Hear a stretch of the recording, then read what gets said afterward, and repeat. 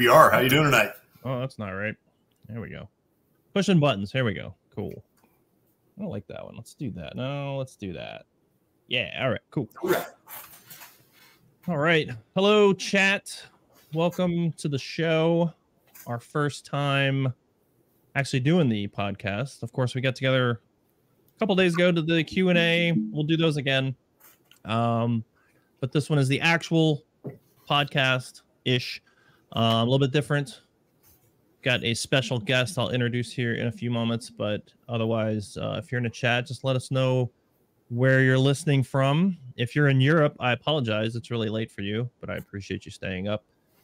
Um, we'll lay out some ground rules going into this again, as we talked about last time um, in the pre the pre podcast, I guess you could say. Uh, we are just kind of recording the conversation. We will pause for some questions. Um, super chats, absolutely, we'll get questions because you've done the super chat. Um, but otherwise, we're gonna have conversation. So don't get pissed off in the comment section if you ask the question about what our guest's favorite color is, or you know what he likes on his pizza, um, and we don't get to it. Okay, so because otherwise we'd be here for a thousand years answering questions. Um, we will again do those Q and A's maybe we can get our guests to come back and do one of those where we just kind of focused on a little back and forth. Uh, we'll see. We'll see how tonight goes. But uh, I will introduce our guest, uh, a good friend of mine, Matt Petraitis. Uh, we've known each other for going on right at 20 years, 19 years, I want to say. Um, he was my troop commander when I was a warrant officer, and then uh, we've just stayed in touch over time. We had a, a very a, a bonding moment, I guess you could say, uh, which we'll talk about later in the show. Uh, but Matt, thanks for uh, for taking the time, and and uh, I know it was a little dicey because you what saw a car accident. What happened? Yeah, well, first of all, thanks for having me back on. I guess my performance on the first one was good enough to merit uh, merit getting invited back, which isn't normally what happens. So it's great to be here and, and good to see you. Um, and honestly, great that we're you know like I said, 20 years in, and we're still we're still doing stuff like this. Um, yeah, pretty spooky. On the way home, about two three miles from home, saw a car uh, just kind of weave out. I guess the driver fell asleep or something. I mean, literally right through traffic, right into a big old telephone pole, and um, yeah, I mean, luckily, you know, you, you, know, we got EMS there pretty quick and everything, but uh, um, yeah, uh, they were both okay, but pretty spooky. Seeing, I mean, probably hit a telephone pole on about 50 miles an hour is pretty pretty spooky. Yeah. Yeah, I was afraid because you just sent me a picture. You're just like, I might be late, and I just see a wrecked up car, and I'm like, all right, I guess he's hurt. he's on his way to the hospital. I just tried to add some suspense to the evening. That's all. You know. You, you did in fact add some suspense. Uh, we were we were danger close to uh to rescheduling, but uh, he he braved the elements and got back uh, mm. here for us. So I appreciate that. Um, all right. Well, I tell you what. What we'll do is just give a little bit of background. Uh, you referenced um, us having a uh, an interview situation before. So for people watching, that was for Authentic Media, which I have talked about uh, in other places and here a little bit. Um, that is a subscription service. Uh, I'll make sure that the link goes down below. You guys can check that out. But what Matt and I talked about in that interview was his experiences as a, uh, a first time deployer during the uh, invasion into Iraq. He was a lieutenant uh, with uh, the 82nd Airborne Division and just talk about his experiences there. So I'm working on a series over on Authentic Media, and you guys can check that out. But we'll talk a little bit about Matt and uh, a background, uh, you know, his background. So go ahead and just tell us a little bit about like where you're from, where you went to school, and how you got started up into aviation. Sure. Uh, so yeah, originally from New Jersey. Uh, I'm the guy, right? grew up really up in the northwest corner, so no, you know, no residual New York accent, uh, closer to like New York State and Pennsylvania. Um, our claim to fame, though, for probably most folks that watch TV or whatever, is uh, the main industry in our town was was an amusement park called Action Park, which uh, since has I've been multiple documentaries, and I think Johnny Knoxville did a movie. Uh, I think he kind of renamed it, but that that was the um, that was the actual antithesis of it, uh, and it was this amusement park with this amazing idea of the the people, the customers are completely in control of the rides. You're not strapped in, you're not anything, right? And um, which which gave homage to you know, being known as Accident Park and Class Action Park and Traction Park and all that. Um, so, but great place to work is, you know, high school and college. You know, like they say, best job I ever had, right? Um, this but, tells uh, me so much about you. Like everything that I've known about you is like suddenly coalescing. Numbers are flashing in my head. Oh yeah, that's yep. awesome. Yeah, formative, right? so um, absolutely. Uh, I think I think it's still two or three of their rides, even though the park is closed and rebranded and everything. I think uh, it's still two of their rides. I think are still top ten most dangerous amusement parks like rides in the country right now. So uh, go ahead and Google that once you're done watching the, the podcast. Wow. Yeah. So, so, where did you go to school? How did you to get into the army? Where where did you go to school? Sure. Yeah, I did the I did the ROTC thing. So I went to you know did high school and probably like a lot of eighteen year olds really had no clue really what I wanted to do. So uh, went into college and I was going to be I was a criminal justice major, so I was either going to be a cop or a lawyer or if that didn't work, but gym teacher or something. I don't know. And then uh, the the ROTC thing just kind of clicked on me. I had some friends that did it, and I don't know, just kind of clicked and um, enjoyed liking it. You know, re- or really enjoyed it a lot, liked it, and then uh, next thing I know, I'm signing a scholarship, which I uh, frankly don't even remember signing. I was just like, oh yeah, sure, okay, four years, whatever, right? You know, and you know, this is mid '90s, so it's like, oh, the army's shrinking, we're not going to war, and I was like, well, whatever, it'll help me pay for school, and I just genuinely liked what we did, right? And so it, it was, and then learning the leadership and being around people, you know, you get a little older, that stuff's important, and uh, yeah, and then you go to assess, you know, your your senior year, you fill out your wish lists, and um, the brilliant minds that worked all the different uh, recruitment took us on a helicopter ride one day and i'm like man this if, if i could do this this would be awesome. And i i have zero aviation background me my family and nothing literally. I think at that point in my life i'd flown in a plane once kind of thing so um, but i thought it would be pretty pretty badass and ended up you know branching aviation at that point and and just never looked back you figured it couldn't be any more dangerous than action park so no, uh, and the statistic, I think on any given day we would have three to like five thousand people in the park. I mean, it wasn't huge like a Disneyland or something. Three to five thousand people, and there were three security guards. So, you know, all at the time, you know, five foot seven and a half, 140 pound Matt was, you know, one of the first responders to any number of whatever happening, right? So, um, yeah, it taught me to think on my feet and and uh, and deal with chaos a lot. So maybe it was a natural fit. I don't know. I feel like this podcast has just changed the focus. Now we're just going to talk about Action Park. But all right, so aviation, you you, you picked that. You got your your nickel right or your your your discovery flight in the army. What what they put you on Blackhawk or something?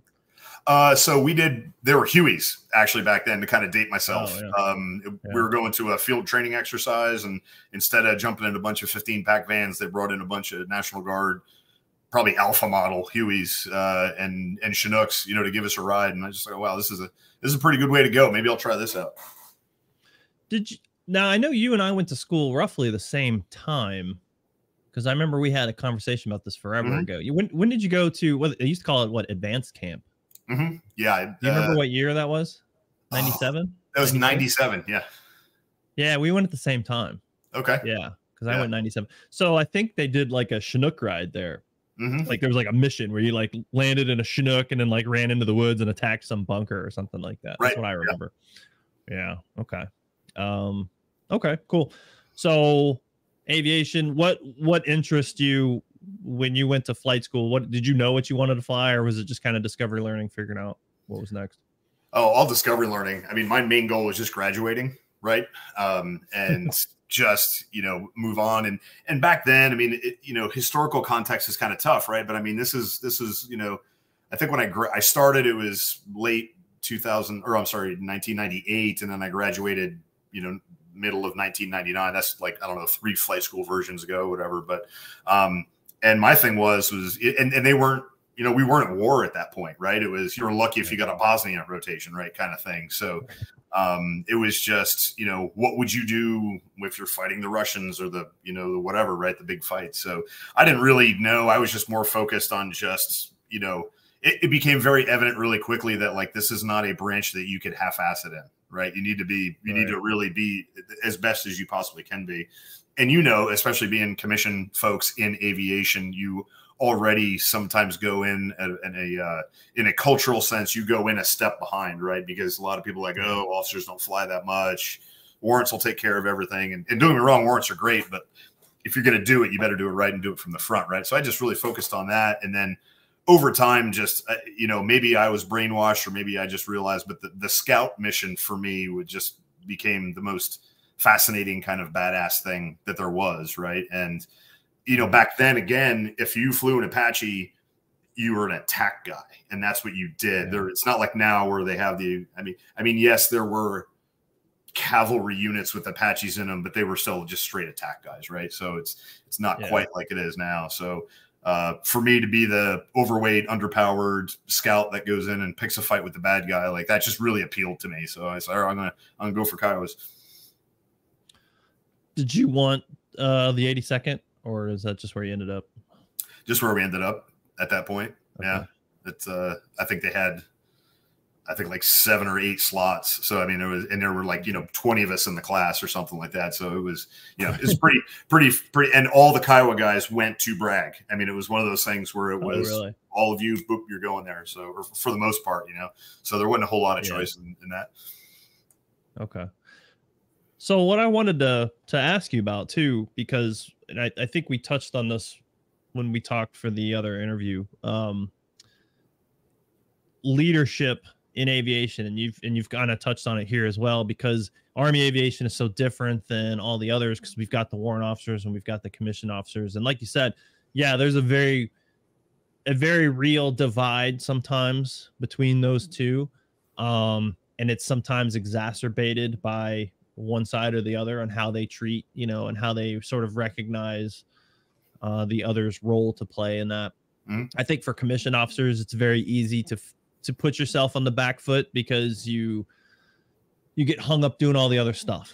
You got to make it a priority to be a pilot. You know, that's the the thing about the warrant officer, you know, which I loved being was just I, I just come in and fly for the most part. I mean, there's other things, you know, people people get hung up on the warrant officers just fly part, but they also forget the part where you're also the fridge bitch. You're also the the MBG guy. You're the supply guy. Like there's a whole bunch of there's a whole bunch of other not fun things that you end up doing uh, when you're a warrant officer as well. But for commission officers, it's very easy to get sucked into the primary job, which you should. I mean, that's your that's your job. Um, but you got to make it a priority to fly. I was thinking about too in ROTC, and I'm sure West Point's the same way. You sort of have this like mentality that you're going to be a platoon leader for like nine years, mm-hmm. right? Like that's all they talk about. It's just like right. the focus, and then you get out into the forest, particularly in aviation, and you're a platoon leader for not a lot of time. I mean, how long did you spend as a platoon leader in aviation? Um, I mean, I got a pretty decent fair shake. I think I got like 20, 22 months or something like that. But, you know, not to, to kind of date myself, but and but you're absolutely right. You know, there there was this thing of like you better make the most of your platoon leader time and all this stuff. And then I got there, and for those of you that weren't Kiowa folks or not kind of know of the aircraft, there were two different versions of the Kiowa Warrior back then. There was the I model, which was the quote unquote mm-hmm. improved model, um, which came out in like the mid early 90s. And then there was the R model, which had to do with the new engine and fuel control and everything they put into it. So when I got there, my unit was an I model unit. So I progressed like three days after I progressed, we heard we were getting R models and we stopped flying. So, um, you know, here I am in my platoon leader time. Like I just, you know, did my RL progression. I'm now I can fly with anybody. And um, we went through probably the six month thing where you know, we were turning in aircraft and, you know, which, you know, everybody knows about now. So now it was, you went from, you know, being in the aircraft and learning from the warrants and doing your stuff to like, okay, you're the lieutenant that's going to shadow the brigade infantry S2 for the next six weeks, you know, to professionally develop yourself, right? Which was like, a fate worse than yeah. death back then, you know. So um, I would have rather just been the fridge bitch, you know, at that point, right? right. So, um, but uh, but yeah, it, it, went quick. But I mean, it was, uh, but it, it, it went really quick. Absolutely. It's it, even if you're there for like two years, it goes by just like that. Yeah, and I want to say, guys, now they're they're nowhere getting near 22 months. I mean, you're lucky if you get like the full 12 months.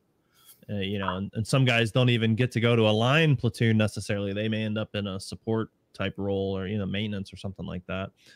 Um, but so when we talk about command, and that's really what I wanted to kind of get to, is you know you were the troop commander of Bravo Troop uh, 117 Cav when we deployed to Iraq in 2006, 2007. There it is. Mm-hmm. Um, and actually, what you were, I was gonna say, we reflagged. You were in command when we reflagged, so it was Bravo 182. Yep. Uh, there it is. Yep, that's what made me think about it.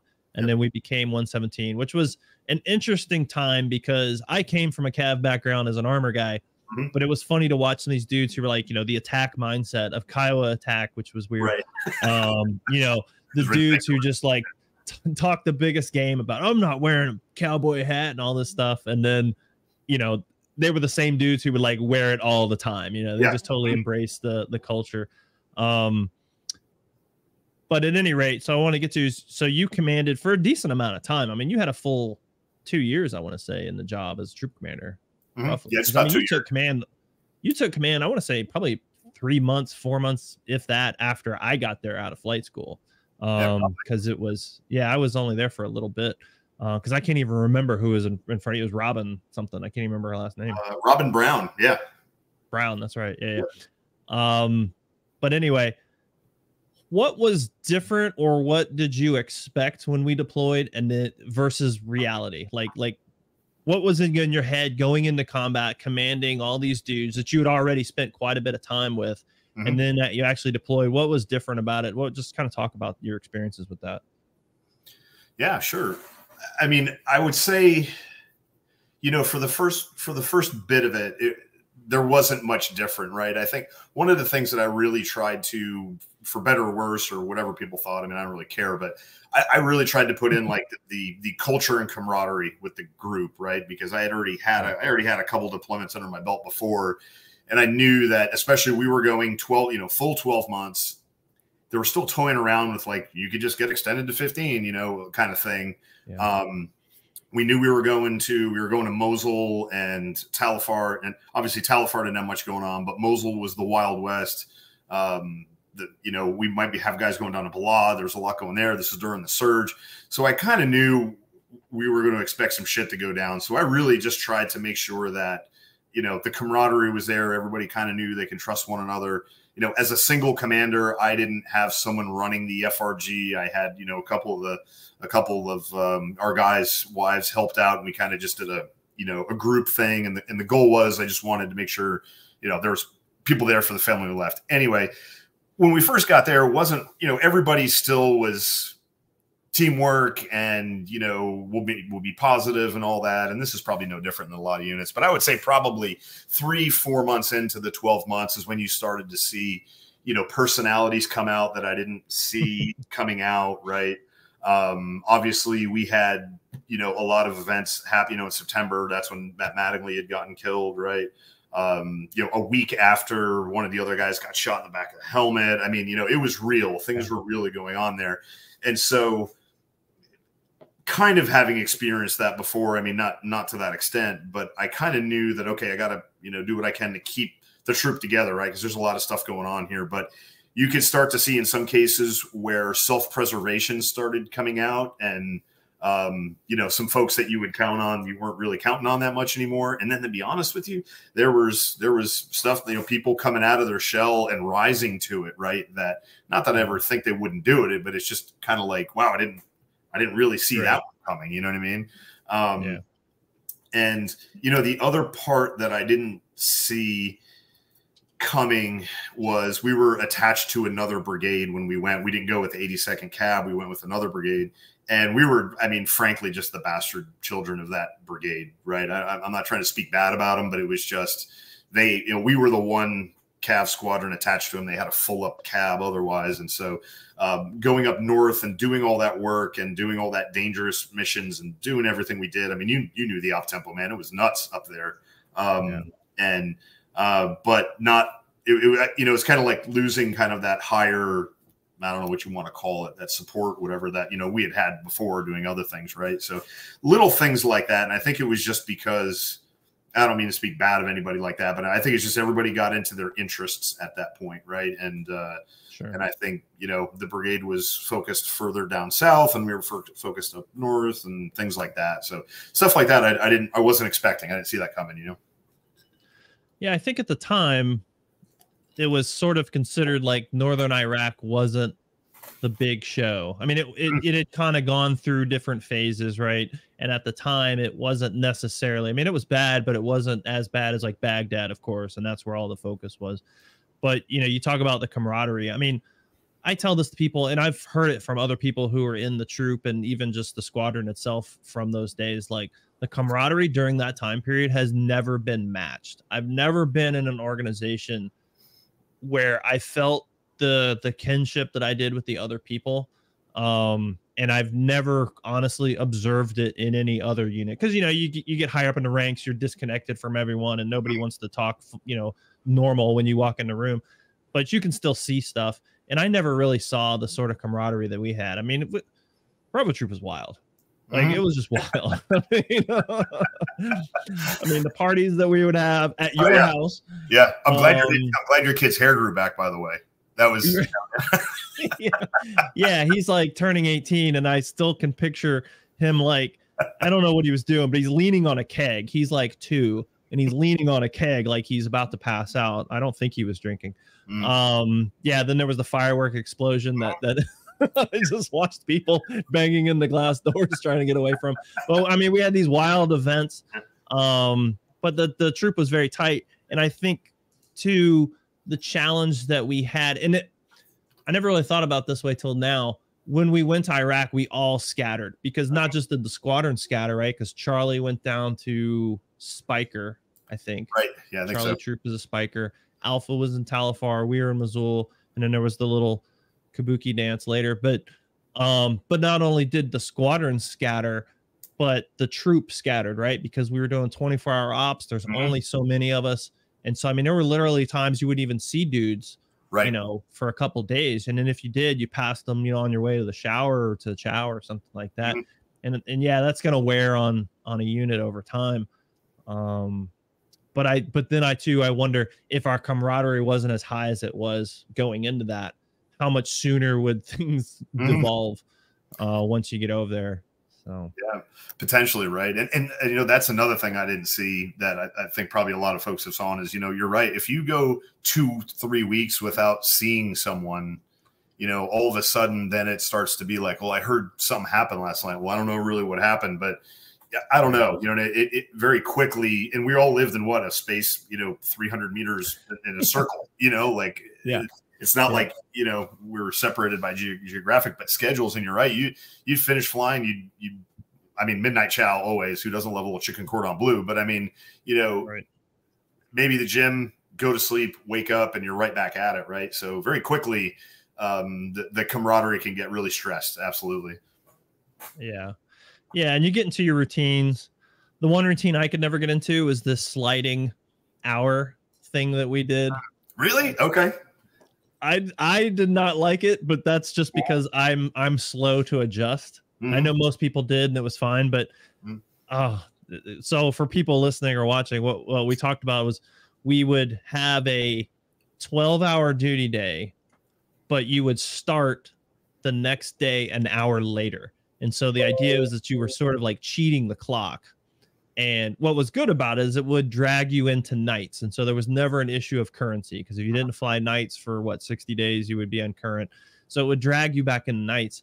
But if you're slow like me, you just could not like every day was a little bit like longer and I just couldn't get to sleep on time. And so it took me a couple weeks before I could finally get used to it. But um but it was an interesting I've never seen that done before or since. I've never heard of it. Yeah. And when I tell people about it, they don't I'm like explaining to them, you know, weird math. But yeah it was different. It was unique. Um, the other thing I guess that was unique with our setup in Mosul, which was awesome, by the way. I mean, like you said, we we all lived in that very small section um, with those CHUs. We had the little shower thing, and then we had our little our little CP, but then we had sort of a headquarters element sliced off from the squadron, and they would sort of manage us if if anyone could manage Bravo Troop uh, at least tell us what we're supposed to do, and then we go out and just just fly around. But you talked about the op tempo. I mean, talk about like a normal day in the life of what we were doing back in 2006 in Mosul.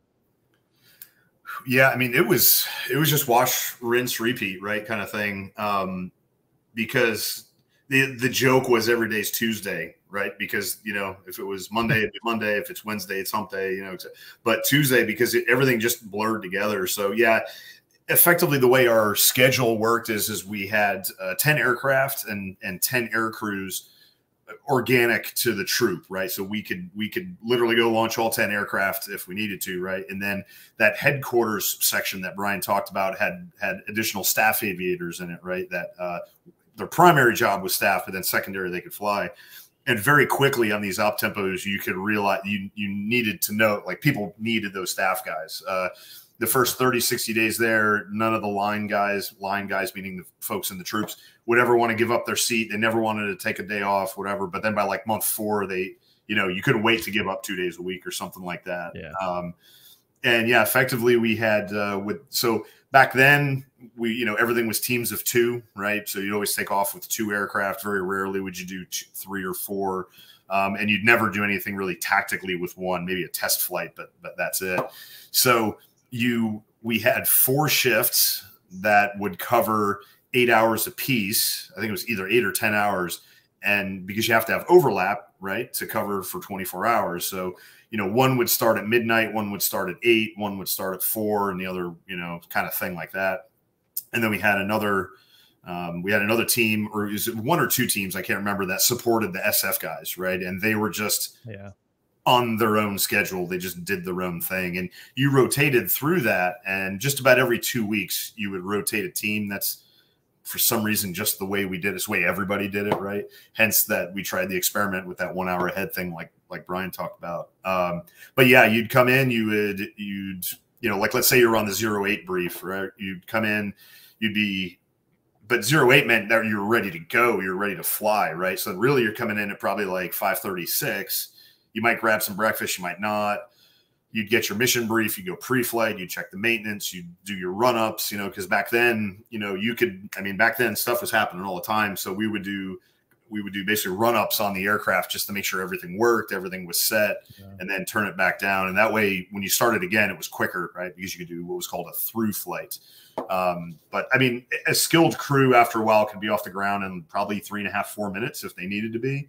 So after a while, they got pretty good with that. But yeah, you'd fly, especially during the beginning parts, you'd fly all the time. I mean, it would be nothing to fly between four to eight hours every day. I mean, that's that's what you did. You'd land, you do your debrief, and you were kind of done for the day unless you had other things. But you know, you got to remember, like you're getting in the cockpit at let's say you're getting in at 745 and it's already 110 degrees you know, and just, I mean, just sweating. Your your frozen water bottle is now half frozen and melted, right? Um, and some days, you know, what they say, stress, right? It's either the the a whole lot of activity or a whole little activity, and that's really what it was. I mean, some days it was like the Wild West with VBIEDs blowing up and shoot, you know, infantry guys getting shoot at and all that. And other days there would be weeks on end where there's just nothing going on and you're just waiting for that next thing to pop off, you know? So um, do that for 12 months. Yeah. I mean, you learn a lot of lessons about the environment. I remember just teaching guys who, who were brand new when I was flying Apaches and, and we went over to Iraq and I said, you know, don't leave your helmet like this because because it's going to bake in the sun and mm-hmm. you're going to get a QRF launch. You're going to put it on and you're going to regret life because you're just put these, these, hot muffins on your ears. Um, oh, yeah. yeah. And the thing too with Mosul is like, you know, because we were in that bowl, right? So you had all this kind of like high ground around. This wasn't terribly high, but you know, was this high enough where dudes could see what was going on because it wasn't uncommon for us to fly around for like six hours, mm-hmm. nothing going on land. The moment you take off your helmet, you hear katoosh. you know, you start getting mortared. You're like, mother. you put everything back on and take off. Yeah. You knew they were just waiting for you to to basically shut down because they could keep track of us. And all we did was operate in the city. I mean, we just took off from yeah. Diamondback and just basically flew around the city, mm-hmm. unless we wanted to go look at the mosque or or the or the uh, what was that, the monastery. Yeah, yeah, the monastery off to the east where they made beer or something like that. Whatever. Yeah, it was. Yeah. I went out there too a couple of years ago. My last deployment, we were in um, Erbil, and we'd fly over to Mosul and just kind of like that was part of our little area. And uh, I'd be like, "Hey, let's go this way. like, yeah. look over here, check this out." Like, "Oh, that's awesome." Um, but yeah, no, it was um, it was a lot of, like you said, it, it, some days it was wild, and then mm-hmm. other days it was just boring as hell. Nothing was going on. But um, and I, I mean, we got mortared, what almost almost daily. It seemed like the, I mean, it wasn't time. that frequently, but yeah, I mean, it was enough. It was several times a week. Yeah. Um, Yeah, even was- sniper shooting at us. I don't know if I I don't I- I think you were probably behind me, but it was um I know it was Boots and I were taking off. We were lead, so I'm assuming you and Cody were behind us, and somebody shot at us, but we didn't realize somebody was shooting at us. We just saw the asphalt kick up in front of us, like as we're like running across the runway, and we both like looked at it as we flew by. and it was like, Yeah. what is wrong with the asphalt? What just happened here? Yeah. yeah, yeah, exactly. I don't understand. Something's Mhm. wrong with this runway. And Yeah. then we realized, wait, someone's probably shooting at us. Mhm. Um, yeah, a wild, a wild place. There were, I mean, there were Um, more times where you'd come back in pre-flight and be like, "Oh, the tail boom's full of holes." Didn't even know Yeah. that was happening. You know, I mean, just luckily they're bad shots, but you know, yeah. Yeah. Well, and I guess that leads us to what we can talk about there. You know, as I titled it in our little notes, that time we got shot up. Mhm. Um, so Christmas Day, 2006, um, we got engaged uh, pretty heavily, and I was thinking about it. You know, you and I never really talked about it. Like we, Mm. I think we talked about it sort of in passing. You know, just like little moments, but we never actually like shared notes. I guess you could say Sure, about yeah, it. And granted, yeah. it was a long time ago, Mhm. but I thought it'd be interesting to kind of just go down that because the older I get, I realize my memory isn't what I thought it was right. um and so things things change over time and of course i was doped up for most of that day anyway Mhm. um Before we took off, yeah. you- well you weren't supposed to say it but yeah Yeah. uh, but yeah so let's talk about that because i'm i'm interested to hear your side of things um beyond what i remember you telling me but again i think i think honestly i think the only time we really talked about it i was still laying in the hospital bed so i Mm. was definitely on yeah. I drugs remember that. Yeah. um yeah so you probably were green and had like horns or something like in my memory you know just like mm-hmm. because i was so doped up but so that day we went on a morning flight what do you remember like leading up to us taking off So yeah, Christmas Day, you know, the the general sentiment of at that time was, hey, it's Christmas. We're going to kind of keep operations to a minimum.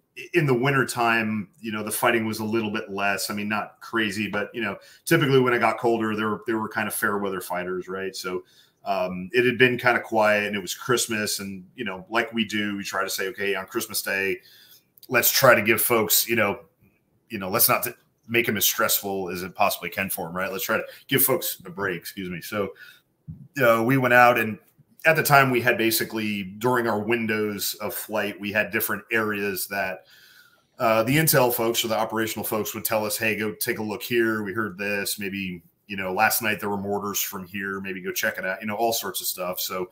Um, and I just remember very specifically, we we were just like, okay, we're going to go up. You know, it had been pretty quiet the last, I don't know, week or so, two weeks, something like that. We said, okay, we'll go up. And it was daytime, it was broad daylight. I think it was morning time frame, probably Yeah. eight, nine, ten o'clock, something like that, if I remember correctly. And we said, okay, we'll go up and we'll do a, a, a an hour, right? We'll just go up and, and hit the areas. It had been pretty quiet. And so, yeah, we did a team brief. We said, we're going to go up, we're going to check out a few of the areas. Um, I remember we went up, we did kind of a counter clock or clockwise loop around the city, if I remember correctly.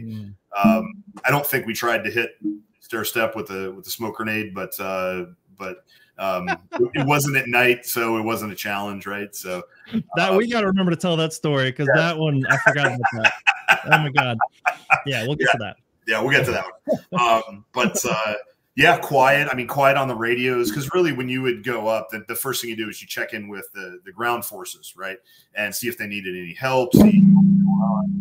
Uh, because sometimes even just flying around, you know, you, you can check out the high ground forum. You can, you know, you're making noise, which tends to scare bad guys away, stuff like that. And I, I don't even think they were out. Like, I mean, it was literally kind of a ghost town. So no they weren't yeah.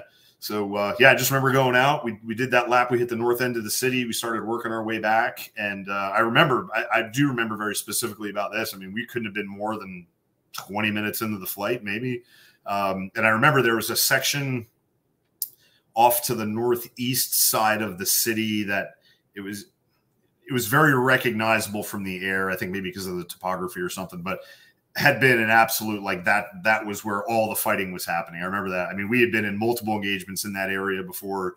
The infantry guys had been engagements in that area before all that kind of stuff. And so we said okay hey we're not we're not going to go in there. Not that we think anything's going to happen. But i just remember very specific because i was flying right seat at the time. And i remember i, I kind of looked across was like okay that's over there um, and i don't know if i got too close to it or if they had moved or whatever but i mean i remember looking back, being like, okay, we're going to fly over there now. And then I just, that's just when I remember like literally the entire helicopter erupting, like literally just yeah. erupting.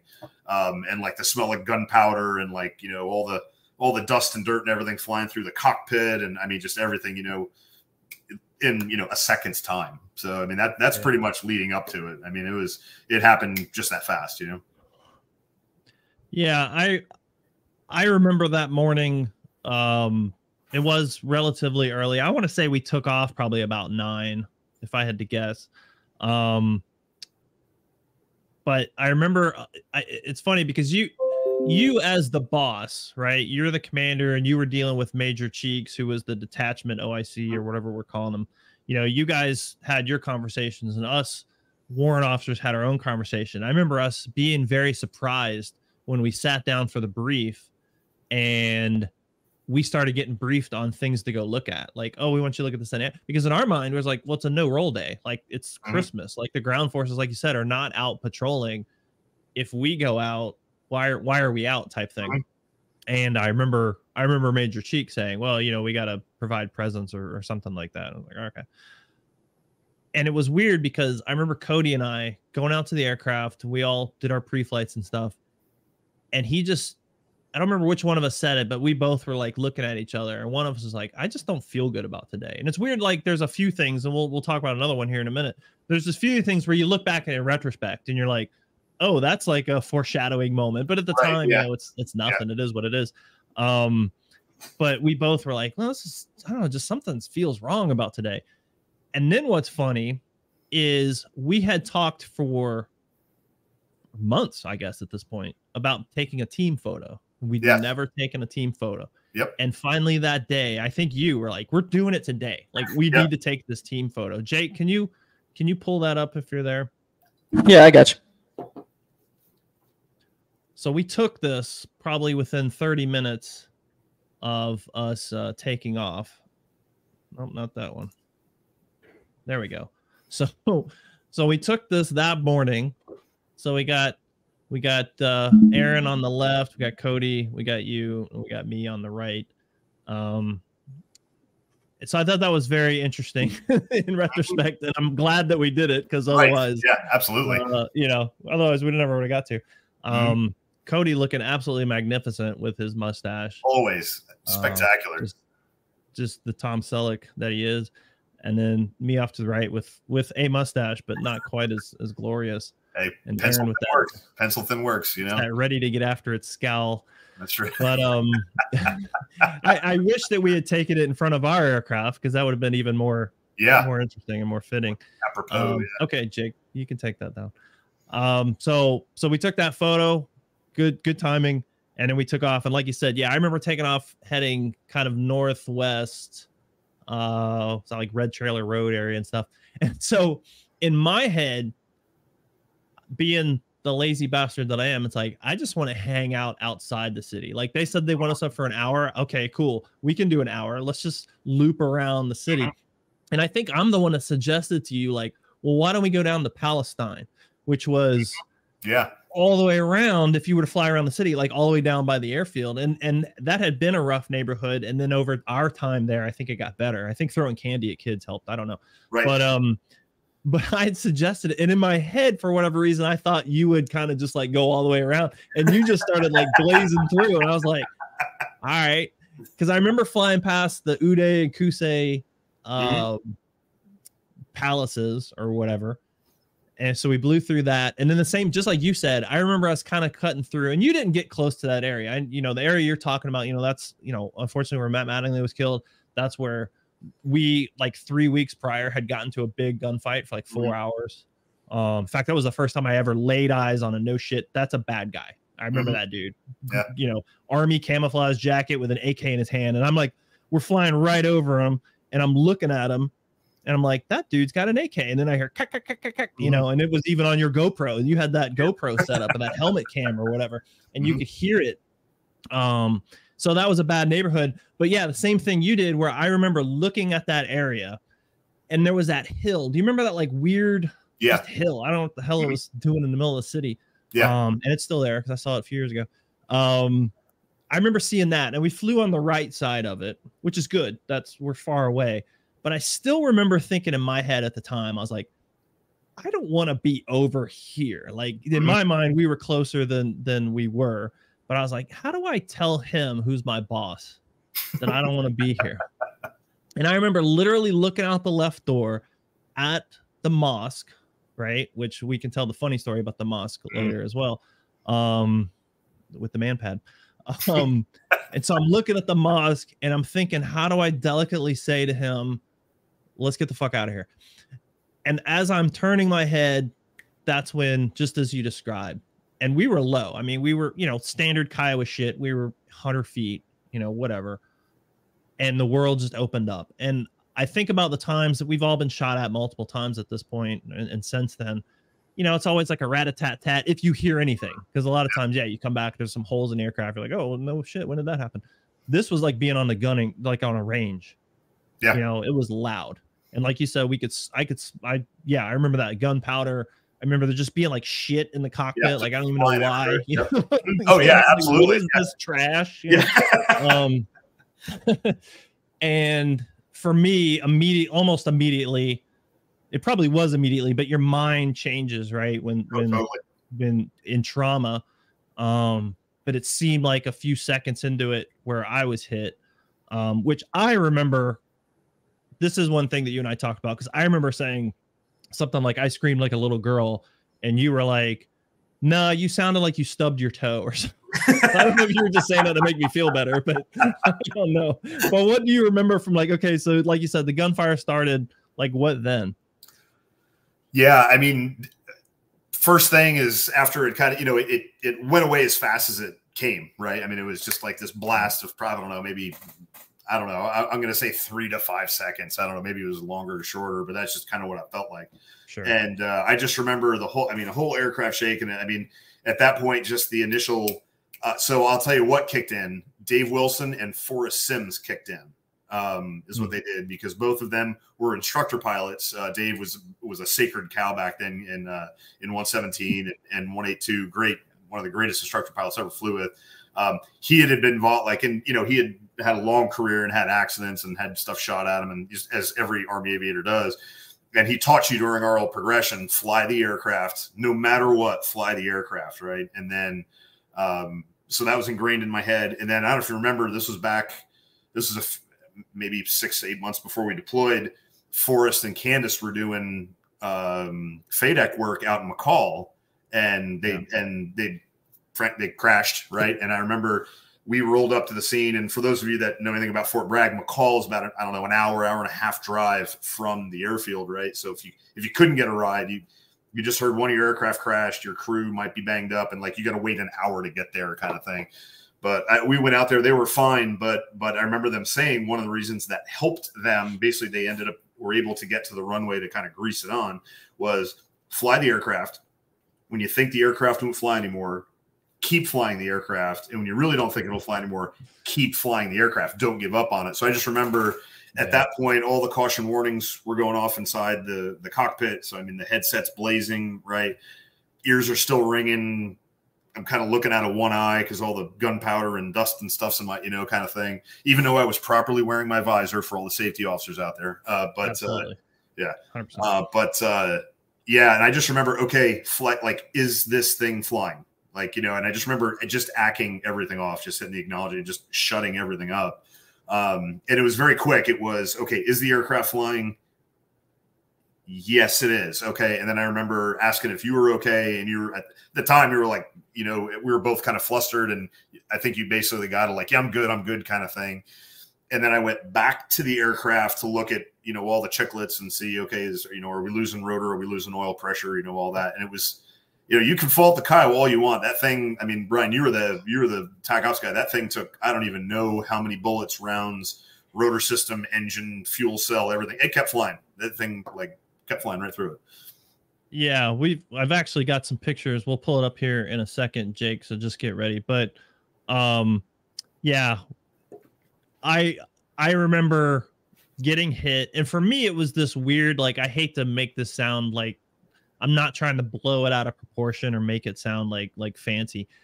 For me, it was like an out of body experience, and I think that's just your brain like saying, "Nope, you don't want to be here for this type mm-hmm. type just for a moment." Because I swear to God, I remember getting hit imme- almost immediately, just bang, bang, bang. Oh my God, there's something happening. Ouch, that hurts. And I feel like I was behind the aircraft, like literally looking down from behind as if I was a ghost or some shit. And and I think it was just my mind just being like, nope, you know, just for a second, like get get away from this. Okay, cool. And then just kind of zipping back in. And I remember the aircraft pitching forward pretty drastically. At least it seemed like at the time. Again, we're very low, so it doesn't take much to like, okay, the ground is coming very fast. And of course, the gunning, the you know, the the the sound came from the right side, and you were sitting on my right. So my first thought was, you're dead. Like that immediately, I was like, he's dead because if they hit me, they had to have hit him. Mm. We're pitching forward dramatically. And so my arm still worked at the time. I didn't start seizing up yet. I reached for the controls. Um, just like you said, yeah, fly the aircraft pretty quickly I could immediately tell that you were, you know, in control. And, and it's funny because we're describing all this stuff as if it took really long time. We're talking about like three seconds. You know, yeah, like all exactly. of this shit just happened uh so fast and your mind just slows down that things just happen at, a, at a, mm-hmm. An increased pace. Um so I knew that you were in control. And then I got scared because I thought, okay, cool, he's in control, but I still feel like we're going down and no one's around right now. Right. And that's when I was like, that's the really like the nervous part. It was like, we're gonna survive this crash so that we can end up on Al Jazeera or something. Mm-hmm. You know, like that's that's what I was terrified of.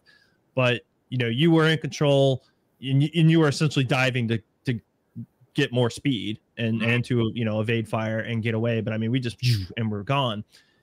And I do remember saying something like, "I'm hit, get us out of here," or something like that. And then yeah, you checked on me. And so now we're flying away and you're trying to call them. Do you remember that? Oh yeah, yeah. I mean, and just like you said, it, it it goes quick. So it was like, okay, something really awful just happened. Fly the aircraft, check on Brian. Aircraft still flying. And oh, by the way, in my head, I'm kind of like wiggling my feet and like, you know, like, you know, kind of, you know, just whatever, right? Adrenaline's pumping. But then the next thing was like, okay, whatever we just went through, hopefully trail the, you know, our trail aircraft didn't go. Th- hopefully it didn't. So yeah um, you know, normally every kind of every ounce of your scout pilot says, okay, we're going to get away, we're going to turn around, and then we're going to come back and shoot whoever shot at us. Like that's that's step one, two, three. That's yeah. what we're going to do. Um, and I just I remember the aircraft was kind of beat up. Um, we were still kind of unsure what we were doing. So step next step was you know link up with the sister aircraft, trail aircraft. Let's get our shit together, and then let's go back in and like let, let's go lay waste to this stuff. And I remember trying to call him, trying to call him, trying to call him, couldn't get him, couldn't get him.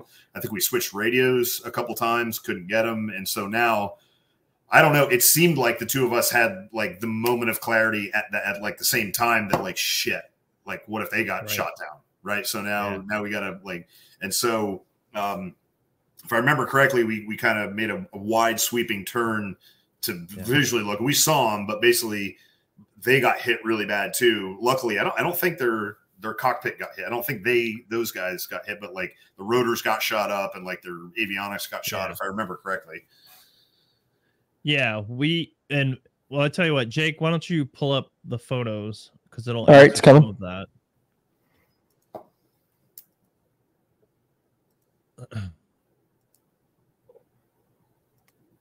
You got it. There yeah. All right, so that was the aircraft 115. And I think by the count, because because Bo did the the the TACOP stuff. Obviously, I was not up for it, but uh, I think the count was between 13 and 15 rounds. So to put that into context, most of our aircraft when they came back had four or five rounds hit. In fact, before this one, the one I remember was Balls 4 mm-hmm. and I think they had nine nine rounds hit, maybe 10. Mm-hmm. And that was a big number. I remember that. In fact, I think that's the one you referred to where um Jim McDonough, I think. Jim McDonough got mm-hmm. sh- shot in the back of the the helmet, which I think was the day after Matt Mattingly was killed. And so it was like yeah. we were all like, "What the hell is going yeah. on?" Yep. Um, so for us, this was a ton of, and also if you'll remember, most aircraft back then came back with holes, like you said, in the tail boom.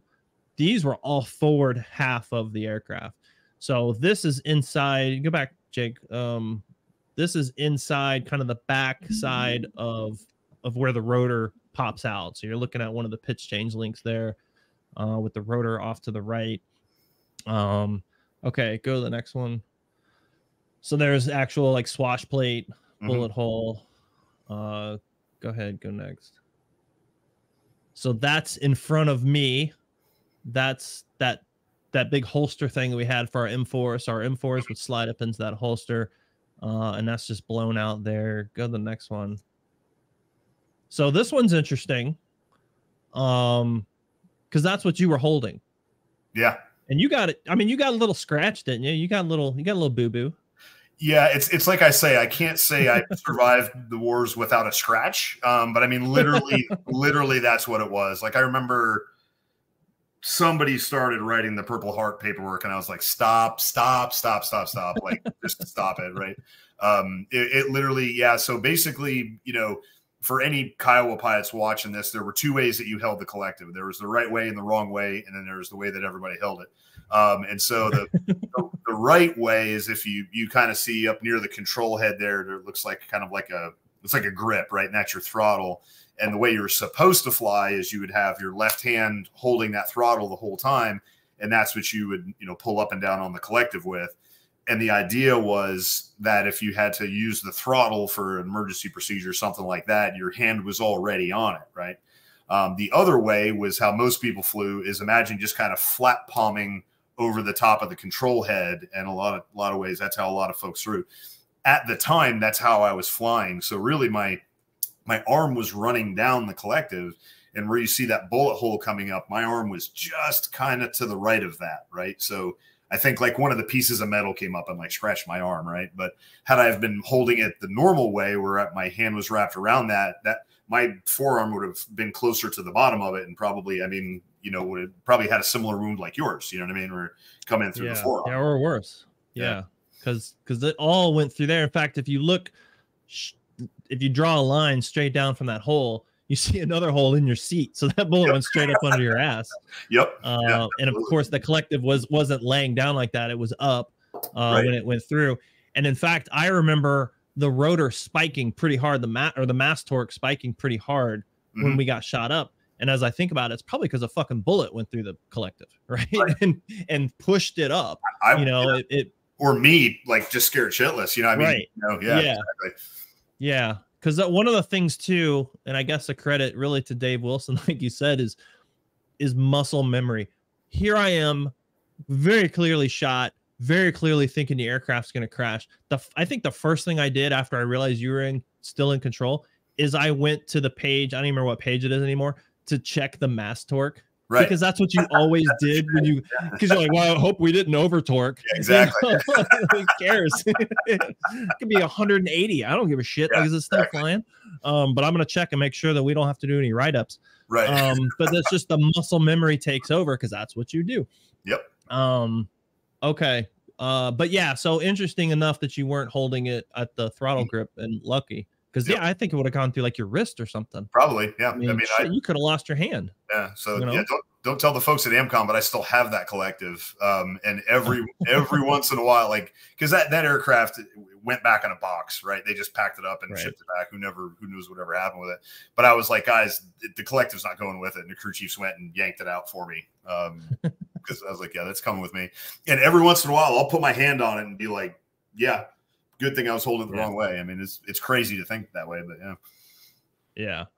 So this is back behind you, quite a ways behind you, but the, we got the big black boxes. That was all the avionics and stuff. I think this is why we couldn't talk to Trail, if I remember correctly, Probably, because yeah. that was our radio.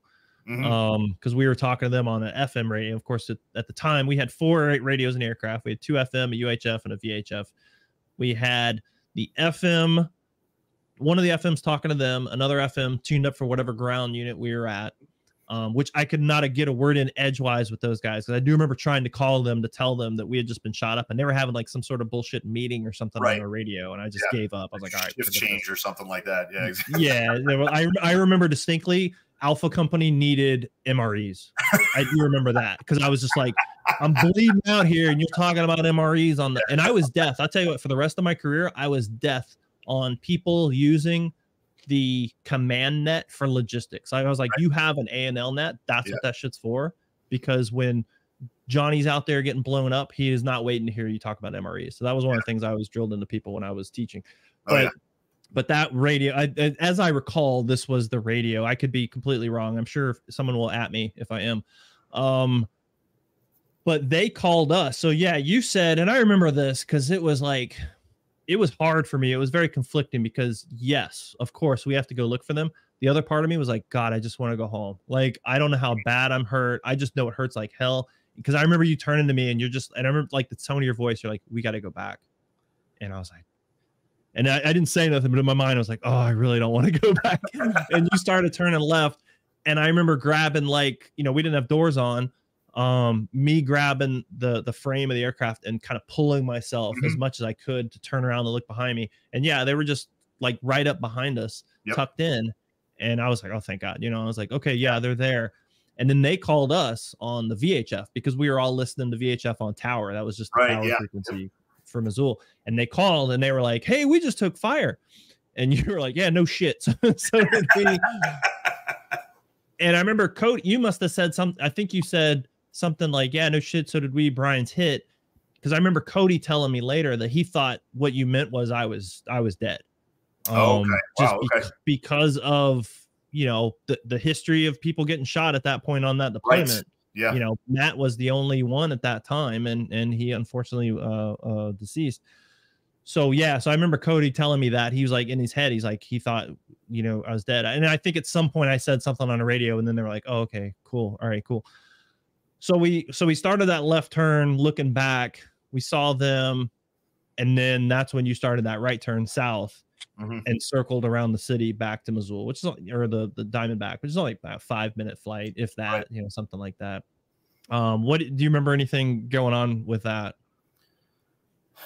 I, I do remember, you know, there was still I can't remember if we had a team conversation about it or not, about like, you know, going back and trying to engage them, whatever. But I, I don't remember if we did or not, but I do remember once we saw that we visually saw him, started talking to him.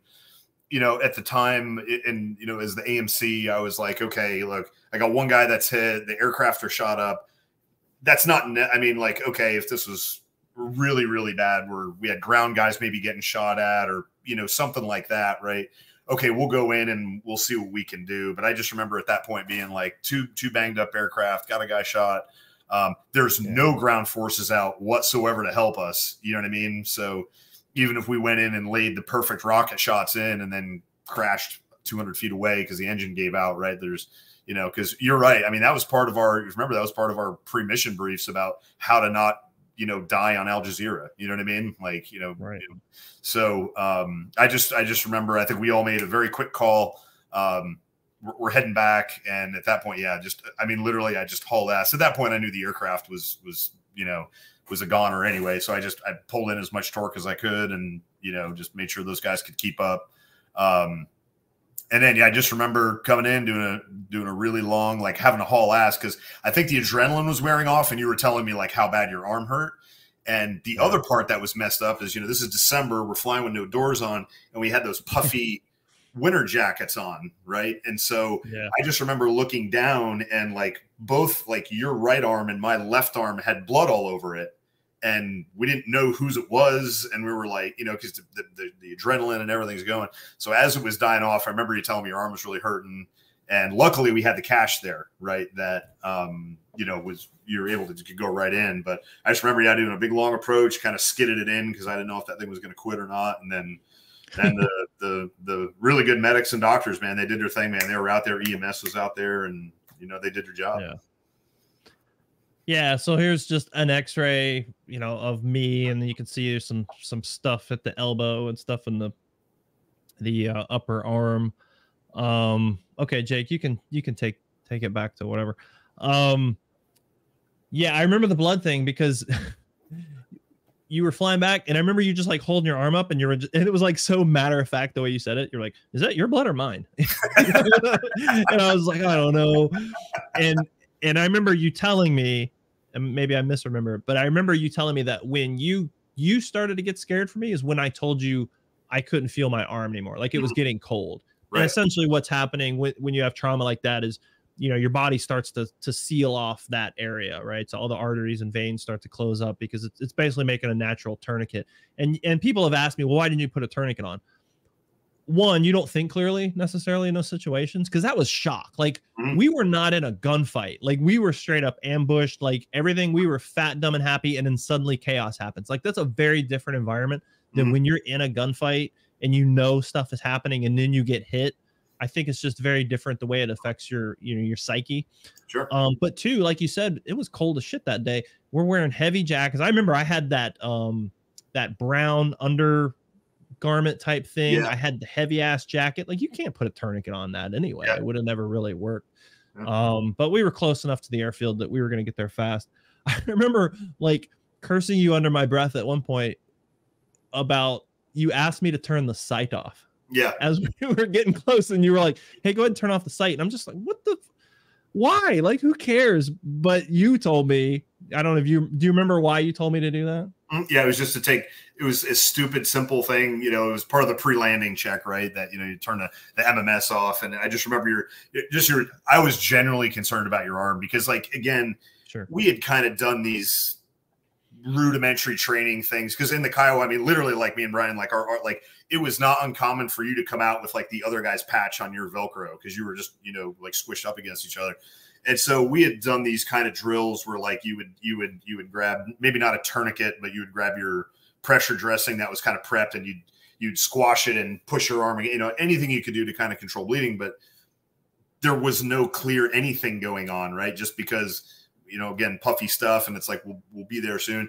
But when you, I was really starting to get concerned, you said you couldn't feel anymore. So I just told you to do the pre-landing check just to give you something to think about. Like that's all it was, you know. I, you know, sight whatever, no big deal. But it was just something, even if it only for ten seconds, you know, whatever. But apparently, your rage took over over your pain, and that worked too. So you're welcome, even to this day.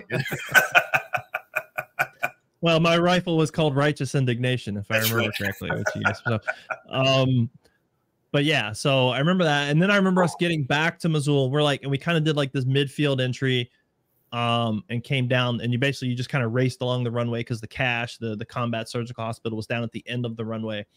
And I remember as we crossed the the the berm or the wire or whatever, Cody called and was like, "Hey, I think you guys are on fire." I don't know if you remember that, but I, I was like, remember that. I kind of remember. Yeah. Well, essentially, what happens because we took, I think, five rounds in the fuel cell, and so mm-hmm. it was, and it's as I tell people, it stops becoming a self-sealing fuel cell at three rounds because you know because the thing was like leaking like a sieve. I remember getting out of the aircraft and just just fuel was just pouring out of the yeah, bottom. Absolutely. And yep. so what I think was happening though is, is, as we were cruising along, fuel is leaking out. It's then vaporizing in the air, so it looks like a cloud. And so he he thought we were on fire or something. Because I remember just looking down at the instruments and seeing that we were over the runway, and I was like, I don't give a shit. Like we're good. Like we're gonna land and I'm gonna get out of this, and this nightmare is gonna end. Yeah. So you go cruising down the end of the runway. I do remember the crew chiefs talking to us later because, of course, they don't know what's going on.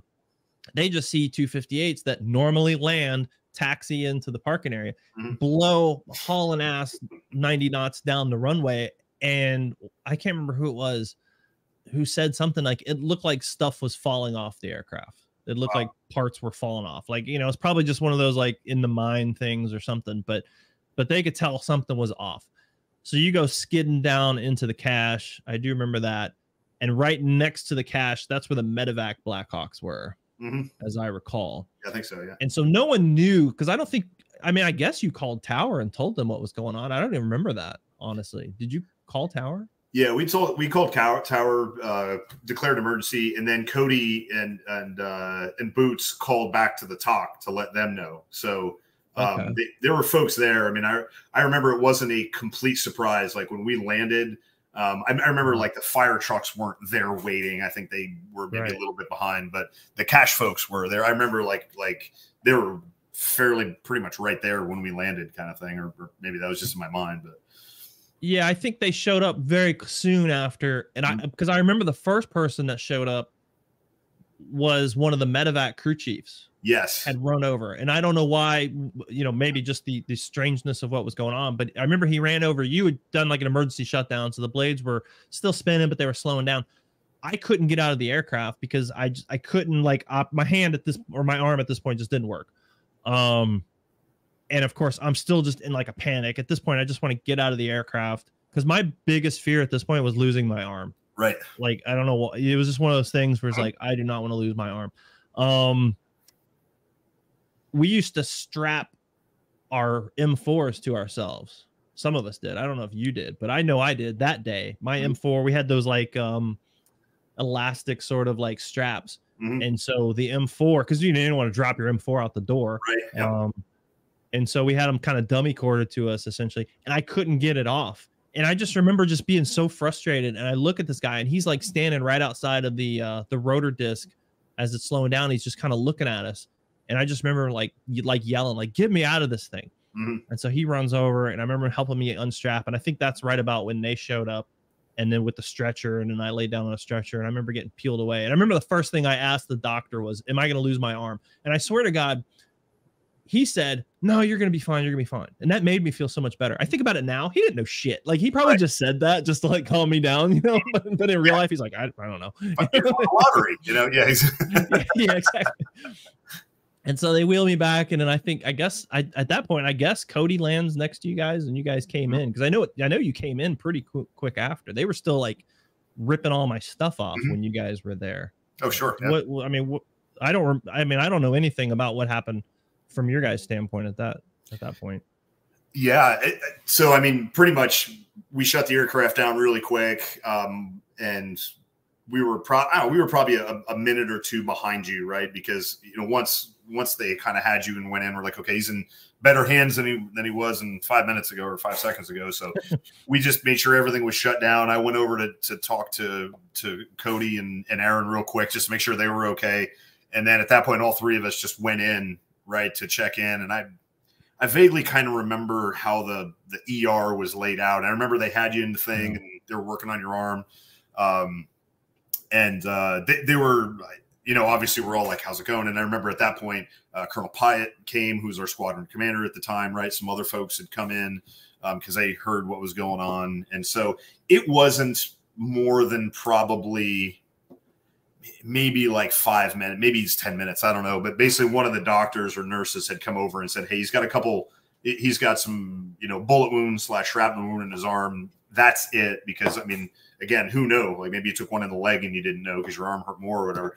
So they basically said that. So everybody was kind of like, okay, everybody kind of calmed down a little bit. And then um, they did a quick check on me. Like they were like, you like you have to get looked at. Okay, fine. And there wasn't anything. So we just hung out until um, it, there was a wait time. I think they went in. I don't. I can't remember that. I know they. I, I don't know if they put you in surgery or if they just kind of picked stuff out as they went. I don't know how that went for you. Um, but then the next thing I really remember is is meeting you kind of after they had treated you and you're kind of in recovery, I guess. You know what I mean? And yeah. that, that's really the next thing I remember. Yeah, I I recall you guys coming in because they were they were laying me on the stretcher and moving me around trying to get all my stuff off. You know, they're cutting all my uniform off and everything. And they did the rectal thermometer. I remember this because I remember knowing you were in the room. Yeah and I tried to make a joke for you. uh, and you know what joke I tried to use. I'm sure of it. You're thinking of Fletch. Yeah. using old oh, hand yeah. there, Doc. and I tried so hard. Exactly. I tried so hard to get that out. And I was just, I was too messed up. I was too choked right. up. But I remember I got like half of it out. And, right. Um, but I do remember that. And then them them wheeling me back to do, yeah, because I went into surgery right after that. They put me out. But I remember being wheeled out and the last person, in fact, the last memory I even have before that surgery was looking at Cody because they wheeled me right past him. You know, Cody's just a good old boy. I'd love to have him on the show. I was actually, mm-hmm. we'll talk later. I was just talking to him a couple days ago. Uh, we'll talk offline, but um, he's he's fine. Um, but you know, he's one of those like unflappable dudes, right? Mm-hmm. He's just the good old boy from West Virginia. And I remember the look on his face was just like he just couldn't believe what was going on and I cried. Like I just Mhm. seeing him like that, just like just like all the emotion came out, and I just remember crying and getting wheeled back, and then and the next thing I remember is hearing because I'm sure you've been in surgery before. You know how it is like when you start coming out of uh, uh, anesthesia, you hear stuff first. Like you you're not looking around. You just start being aware of things going on. And the first thing I remember being aware of is hearing a woman's voice say, "Well, can I get a picture with him?" And I don't even have my eyes open. I know nothing. I'm like, "Yes." I don't know why I know it's for me, but I know it's for me. And I guess it turned out one of the like National Guard Black Hawk crew chiefs was also like Miss Hawaii or wherever the hell they were from. Oh, I kind of like remember And that. she she had like her banner, like her little sash and everything. I and remember so that. she came over Yes. and took a picture with me. I it was weird. Mhm. But um and then yeah, it started the the path to recovery and then and that's when you guys would come to visit. And it was so funny too because I, I know everybody had the best intentions of coming to see me, but I also know that there was an underlying theme to what people wanted. It was Christmas morning, and back then, guys didn't have cell phones on deployment. You didn't, you mm-hmm. know, the cell phone technology wasn't really the way it is now. So the base was shut down. Nobody could make phone calls until I had a chance to call home. And Oh, so that's right. Oh, that's right. Yeah, yeah. People were coming to me and I'm like, hey man, how you do? I remember Deuce in particular just coming to me like, hey man, how you doing? Yeah. Hey, um, you know, you, you called home yet? you know, like, like, Let's go. no, yeah. man, it's like 6 a.m. back home. Like, just give me a little bit, you know. Yeah. Um, but uh no, that's funny. Well, at, any rate, yeah, I just kind of wanted to bounce that off each other. It doesn't sound like either of us have too crazy of different Yeah. memories of it. Um, but Yeah, I- yeah, interesting. I, I will say the one thing that always stuck with me, and I don't I don't know if I ever told you the story, not not that it's anything great, whatever, but that during that whole time, you know, you all, all the things that we just talked about, you don't really think about what happened, right? And then obviously when we're in the the hospital, you you, you start to think, and it's very real because it's right there. But when it hit me was eventually I, I went back to you know they had wheeled the aircraft back and had started doing their stuff, whatever and one of the I, I forget which one of the crew chiefs is like, hey, he's like, hey, sir, I don't like. Do you just want us to close the logbook out for you? Like, what you know, like you know, because when you get done flying, we had laptops that you'd log the flight and blah blah blah. Yeah. And I just remember being like, no, no, man, I got it. I don't, I don't want you like, you know, it's my aircraft. I'll do it, right? Kind of thing, whatever. And I remember I sat there, and for and I don't know if the software still does it this way, but when you go in and you put your, you know, your flight time, which I did log your flight time for you. Um, uh, it asks you when you hit enter, it says, Was this flight okay? Like a box pops up. It says, Was this flight okay? And that's when I went, Son of a bitch. Like, and then everything started to unravel. Like, that happened, that happened, that happened, that happened. And I was like, No, you know, and then that's where you would put all your that's where you would put all your uh your faults in, you know.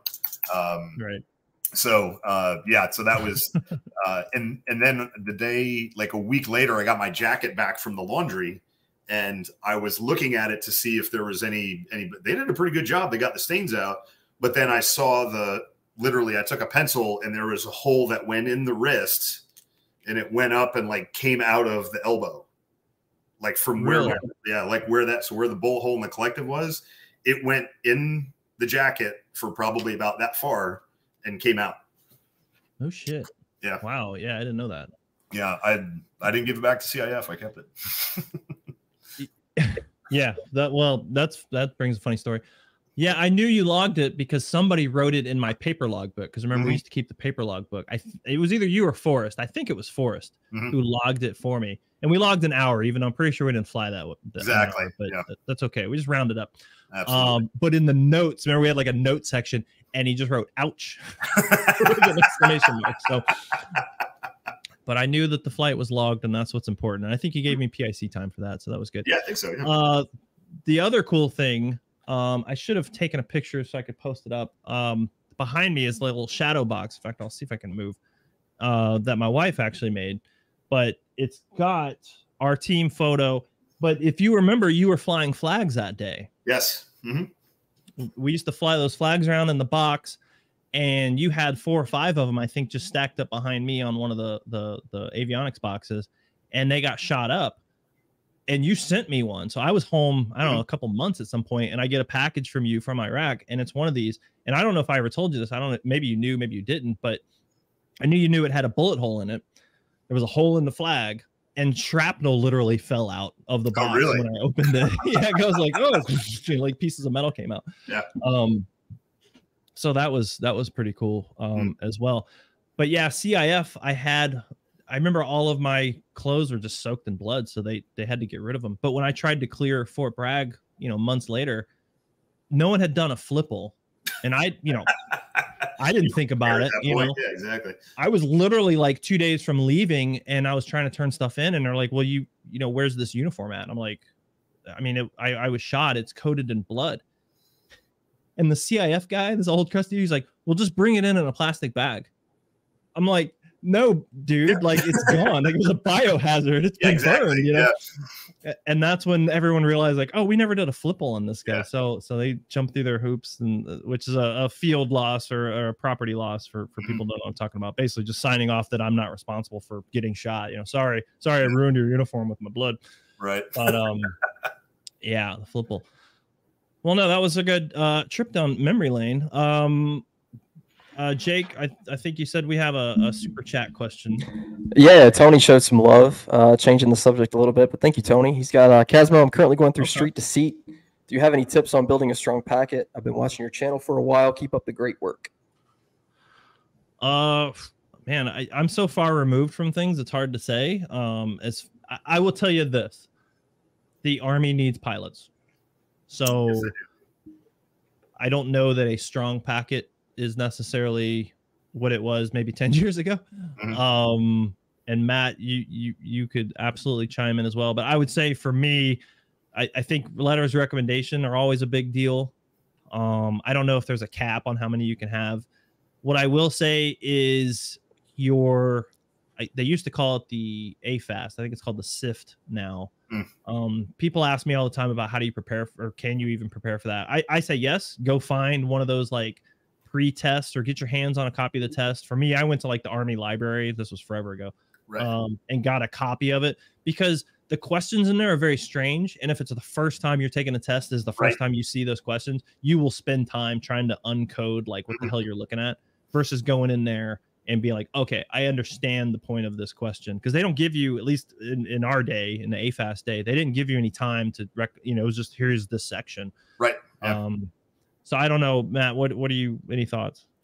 so Brian's absolutely right. They're pilots. We need them. Um, so I would say, believe it or not, get your basics squared away. Right. So like, look at look at what number one the Army's physical fitness and like health and uh, and medical requirements are. Right. Like because depending upon whether we need pilots or pretty full on pilots, they relax waivers. Like I remember when I first came in, you had to have 20/20 eyesight. You couldn't have eye surgery. Like not, you couldn't have corrected eye surgery. Nothing.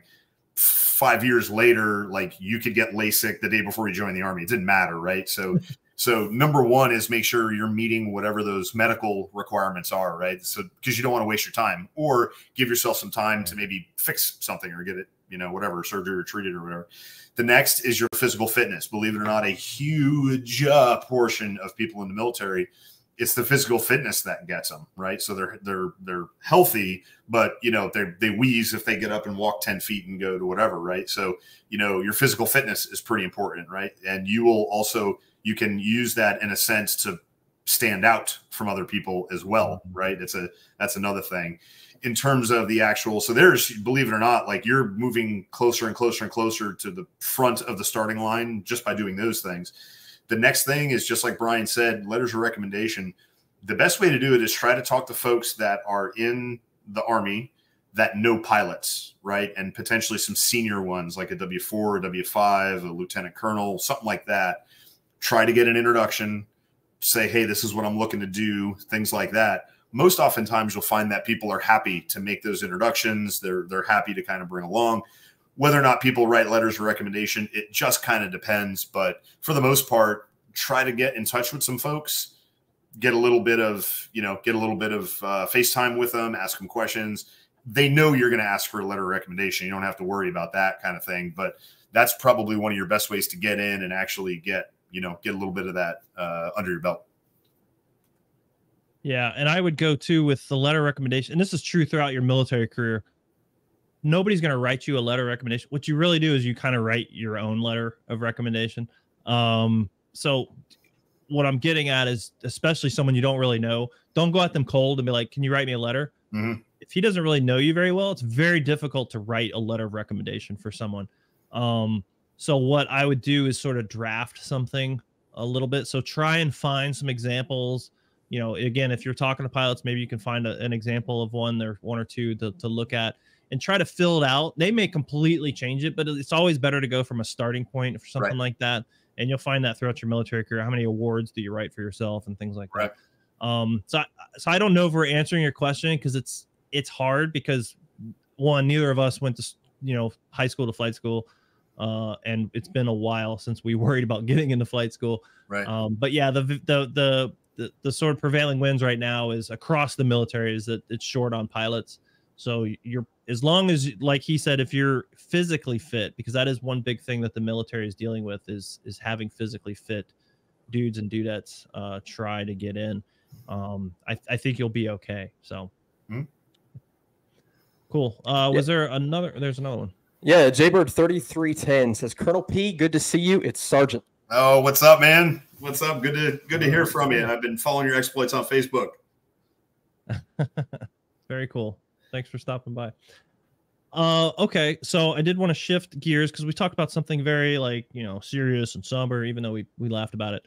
Um, kind of goofing off, and you brought up a memory I was so mad at you. I was so which, mad at you. Which one? Which one? which one? Well, that... the, the main one, the one I was really, really mad at you. But you know, it ended fine. So yeah, so same neighborhood, and I want to say this was maybe a month or so before the the shooting. Mm. We go out at night.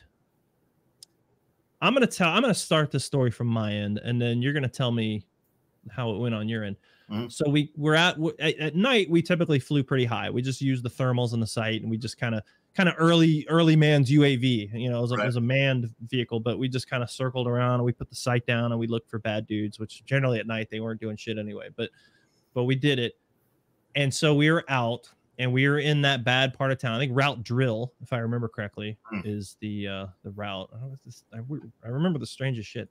Uh, but Route Drill and that mosque and I remember I was right seat lead, you were left seat trail, and we did kind of a big orbit around that neighborhood. And as I was coming around back to the west, the mosque was down at like my 11 o'clock low. I remember looking up again, we're at like a thousand feet, and I see you guys kind of coming towards me. And my first thought was, why, why the hell are they not behind me? Like, what is going on? I go to key the mic to ask what the hell are you guys doing? And that's when I notice the telltale signs of a MANPAD with a corkscrewing smoke trail mm-hmm. coming from the mosque up to your aircraft. And so I immediately, as I'm keying the mic to say, What are you guys doing? I say, I SAM, SAM, break right or something. Mm-hmm. And I pitch it over into like this corkscrewing turn I got my finger. I've wased up, or well, we didn't call it was back then. I'm now gonna let my Apache stuff show, mm-hmm. but I've selected rockets. I'm ready to just dump rockets into this mosque. What what does it look like from your standpoint? Um, yeah, it, pretty much the same. I mean, we were we were. I remember trail. I, I think I remember correctly. It was a fairly boring night, but I do remember that that area had been kind of a hotbed and this is a little bit later in the deployment too. I, well, yeah, we're yeah maybe like three, four, five months in kind of thing. And uh, yeah, I just remember uh, for some reason it would be like a great idea to drop a smoke grenade uh, down into like the the courtyard of the of the area, right? Just a just as a bit of a like you know we're you know we're watching you guys kind of thing and, and yeah. maybe a little we're bit unhappy of, with you yeah exactly right i mean you know um, and you know add into that a little bit of boredom, add you know whatever kind of thing. Um, me not thinking, you know, we were trail, so I didn't even expect you to see it. You know what I mean? Like it was, you know, so um, and I I forget who I was flying with, but I just I just we were just like Yeah, this seems like a great you, idea. You were with Cody. You Oh, were with right, Cody yeah. because I was with Boots. Yeah. Okay. Yep. Yeah. I just remember this seems like a great. Yeah, this is a great idea. It's a great idea. Let's go ahead and do it. So, um, you know, you know, did it and didn't even think, you know, that first of all you'd even see it, right? Um, but then, yeah, I do remember hearing like SAM, SAM, break, break, and I think I don't know if me and Cody laughing came over the radio or not, but it was. It did. Which Yep. was very confusing. Right. yep. Yeah. That was Yeah. a little. Yeah. I remember you were pretty Well, I hot. I, think- was like, ooh, sorry, ooh, sorry, sorry about that. well, I think what you told me later after I came down off of my anger fit because I was scared, um, was that you had thrown it and it popped like almost immediately. Like normally there's a delay, and I remember you saying something like you threw it and it popped, and it was just like spinning, Mhm. and that you looked at it and said, "Man, that looks just like a," and it like clicked in your head. And you went to go key the mic, and right as you were reaching, Oh, suddenly I'm yelling. Yes. that's right. Oh, that's right. Yeah, because normally, if you if you timed it right, it wouldn't. You know, the smoke wouldn't pop until it hit the Sure. ground, or you know, whatever. We got pretty good. e- Yeah. Every KW guy got really good at throwing smoke grenades, and uh, and I just remember being like it. You know, by the time it just got past the skid, the you know the Right. and I was like, ooh, yeah. and so we're halfway through our corkscrew and i'm like you know i'm like doing this number trying to look for you guys as i'm diving back in. My my i mean literally my thumb i've lifted the cover on the switch. I'm ready to just start dumping rockets. And i see you guys still just hanging out there. And so in my mind the missile has missed you guys but you don't recognize what's happened. Like maybe uh-huh. it was a pop no kick on the radio something you know i don't know what's going on. And so i call back and i remember being like hey SAM launch and Cody calls back, and you could hear the laughter, and he's like, "No, that was going down," or something like that. And so here we are in this like corkscrewing dive, and I just look at Boots, and he looks at me, and we're like, "What did he say?" And so Boots just like keys the mic. He's like, "Say again," and I don't remember what you guys said, but it made us realize what had happened. And I mean, my you know, my heart is pounding out of my chest, you know, thinking everything that's about to happen.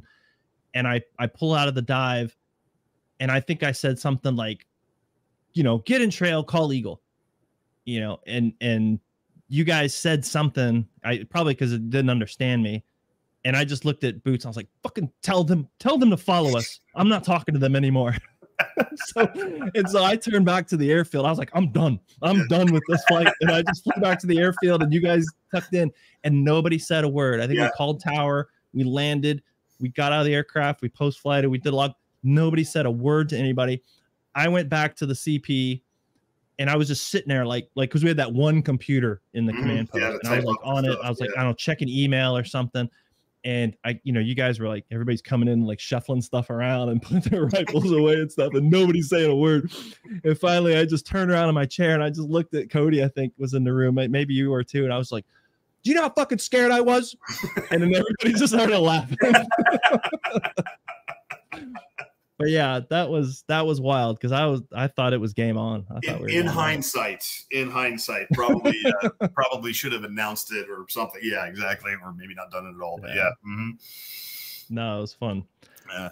The the other memory I had that I wanted to share with you because I bet you don't remember this one. Uh, this is absolute pure professionalism. Jake, Mm. uh, can you bring up water bunker? Mm. Yep, I'm on it.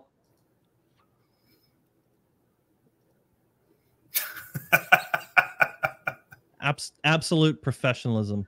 consummate. There we go. Just yeah, consummate professionals. So there I am off to the left, looking God, looking way young. And there you are in our water bunker that we had created one night. I think we had weather that night and we couldn't Yeah. fly, and we were on like the crazy ass late shift. Yeah, like midnight to Um, eight or something. Yeah, And we did then we just did this. And I remember the enlisted guys who worked in the CP or the the TOC were just so like just disappointed in us. You know, you could just see it in their face, like because they're always bringing in the water jugs, and here are the dumb pilots down there just playing around. Yep. Um, I think there's a couple, couple more. Yeah, there we go. So, so there's, I think Boots. He's Yeah, the, the safety as he declared. Yeah, that's our safety officer. He's the enemy. as he declared, because that's what the enemy looks like is the black uh, silhouette. We're all pointing weapons at each other. Yeah. Uh, probably not armed. I think that's you and me in the bunker. I think so. Yeah. Uh, let's see what else. There's me and Cody. Yep. I'm clearly giving some some directions about right fire discipline. And I mean, just look at look at the intensity on Cody. Like, look at him. Oh, you know what I mean? Like, stone cold killer. He sees beyond. You know, absolutely. Right. and then there's you and me. Yep. Establishing establishing security. That's right. Uh, just just tax your tax dollars at work, ladies and gentlemen. Yeah. There it is, right there. The stuff you do when you're bored. Um, you know, if it wasn't that or what, dudes, like I think back then, like video, like Guitar Hero was huge. Like back then, like yeah. or it had just come out, and like that's it was it was either making bunkers out of water bottles or playing Guitar Hero. That's like what people did in their spare time. Yeah, I mean, there wasn't a lot to do. I remember one day, I think it was still pretty warm because the flies were everywhere, mm-hmm. and we just made like a competition of how many flies we could kill. Mm-hmm. I remember being like 60, 80 something. Because the flies over there are dumb. They just let you kill them. It's not like in the States where they're zipping around. They just sit there and like, oh, I guess I'll die. Yeah. Um, yeah. No, that was a good, that was a fun deployment for the little bit that I, that I made it. Um, but no deployment since then has had that level of, of craziness. Mm-hmm. Um, mm-hmm. there's been some other interesting times, but neither here nor there. I guess the last thing I want to talk, you kind of change gears again, kind of fast forward. So you spent most of your time, like me, flying Kiowas, mm-hmm. uh, and then eventually you went on to fly Apaches after the Kiowas divested. Um, what was that like for you to go into the Apache? Like, what was it like the first time you got in the Apache and flew that versus what you were used to with the Kiowa? I mean, it was pretty way different, right? I mean just walking up to it, you know, I had gone from a bulk of my career of not, frankly, not caring about the Apache, right? Because most, right, not all, but a lot of Apache guys were like, "Ooh, the Kiowa, whatever," you know, kind of thing. And so our thing was, you know, we had done some teaming in the past that worked out really well, but I had never really cared, frankly, about the Apache that very that much, right? Um, so when I, you know, hey, you're going to the AQC and you're going to go fly it. I mean, just walking up to it, obviously, very, very, very different. It's you know this big, big twenty thousand pound machine kind of thing. I, I, do remember flying it was. I remember the first time you actually get in and, and uh, down at well now Fort Novosel you know, when you actually go to fly it for the first time with your IP, no more simulator, no more anything.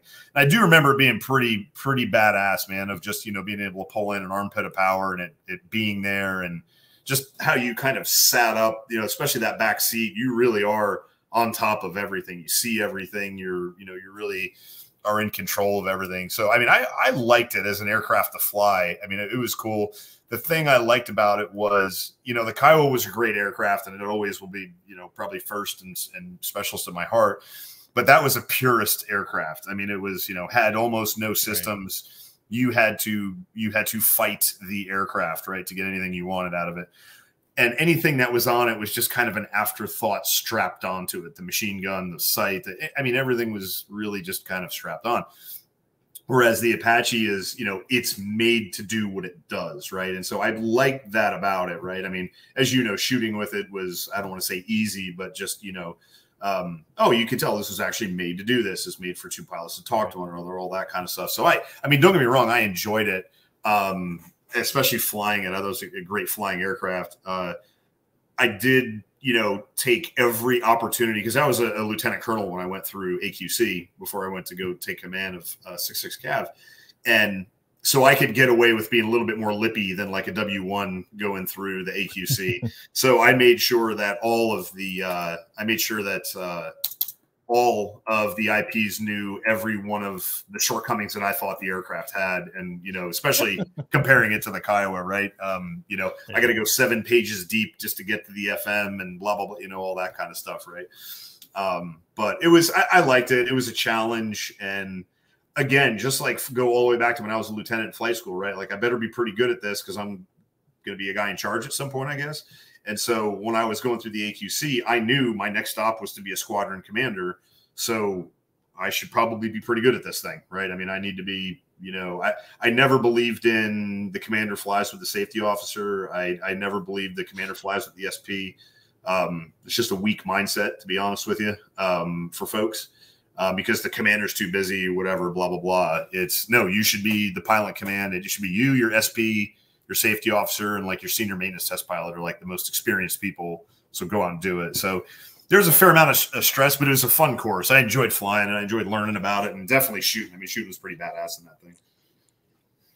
Yeah, yeah, it's interesting. You you said the same things that I thought about getting in the first time and just thinking like this is purpose built. That was like the first thing that struck me. It was like this is made to do the things that I'm asking it to do versus the Kiowa, which I loved. It was a fun aircraft. But yeah, it was a lot of kind of aftermarket thought type. You know, it was like, here's a helicopter now, let's put a bunch of shit on it and make it yeah. do army stuff uh, versus the, the the Apache. Shooting it was easy in the sense that yeah, it was designed to do those things at the same time, I felt like it was work, you know, like because there were so many various ways to do the same thing versus the Kiowa was just like, well, I guess I'm going to point at the whatever and I'm going to yeah. push this button and everything's going to come out. Right. And um, I remember going through gunnery phase, you know, and that course was so long. I think it was too mm. long. You know, yeah. I don't know about your experience, but when I went through, it was me, two other Americans, and 11 Saudis. So like right. we were stuck in the Saudi class. And so it was designed for these kids who hadn't flown a helicopter in like 2 years anyway because they'd finished like, you know, rotary wing initial entry in Australia 2 years prior or something. Yeah. And so now you've got these experienced dudes who already know how to fly. They stick them into Apache. and that course was just painfully long. And by the time you get to gunner, you're just like, dude, I just want to go home. Like I've been here for five months, you know. Yeah, um, and I remember my instructor pilot giving me a hard time. And he was a Kiowa guy too before. And he, you know, we were flying. He's like, "Sir, you get worse at this every day." And I was like, dude, I'm just tired. Like, I don't want to do this anymore. Like, all this pushing buttons just to shoot rockets. I'm used to just flipping yeah. a switch, pointing, pushing a button, and then making things go away. Now I got to worry about where my head's looking and where you're looking and all this crap, you know. Um, but at the same time, once you figure that stuff out, uh, yeah, it's it's very much made to do what you want to do. We grew up with a very um there was a divide, right, between the Kiowa and the Apache guys. I don't think it was terrible. I think it used to be probably worse than it was. Mm-hmm. Um, but I don't think it was terrible. But it was definitely there. There was a lot of ribbing that would sometimes go maybe a little bit too far. But you know, generally we all got along.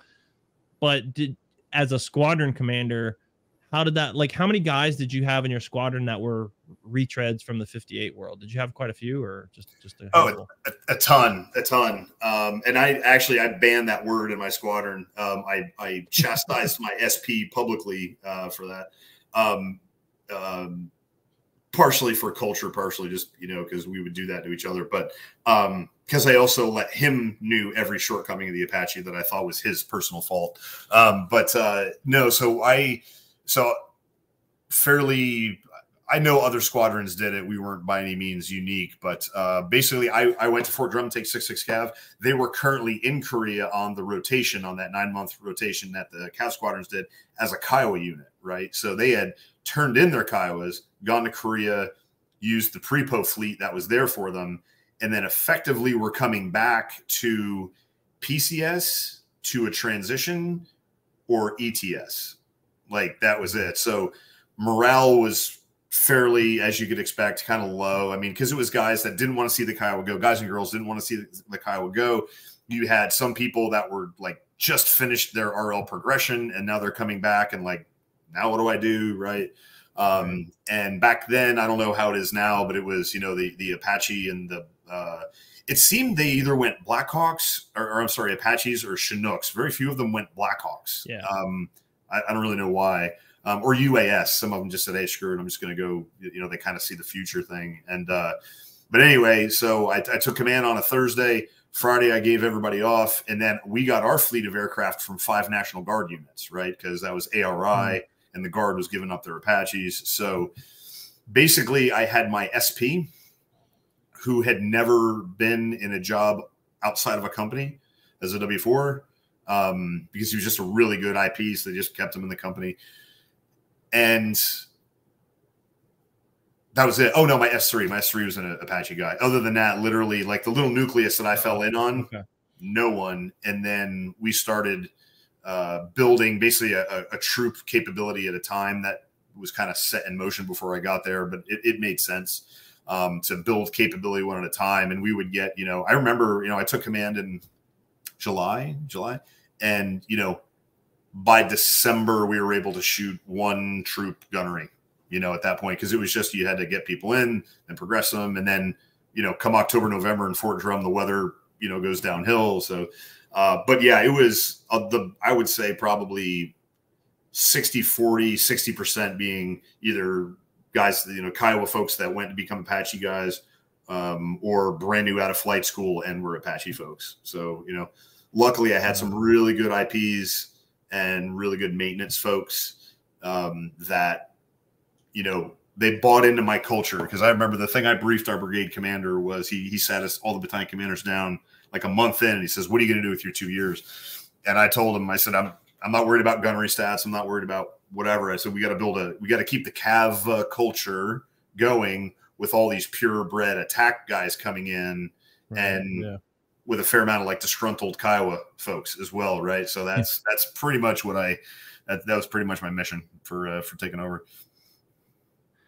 Yeah, that was an interesting time because, like you said, not only were you changing aircraft, um, you were changing that culture because you were reflagging attack battalions to cav squadrons mm-hmm. or, or, you know things like that but i thought it went pretty well considering i think a lot of us as kiowa guys were expecting to just be kind of just stuck out to pasture um, even if we did make the transition you're just like okay put baby in the corner mm-hmm. um, i i saw like a great mixing of the two cultures mm-hmm. um, i was very fortunate in the squadron that i ended up in as a major uh, being put on the ATP for one of the troops, the the um, training plan. So essentially, for staff guys, for those listening, it's if you're a staff guy, you don't belong to one of the companies of the troops, but they will take you in on their what's called an ATP, and so that's you fly. Your flight hours comes from them and your training and stuff like that.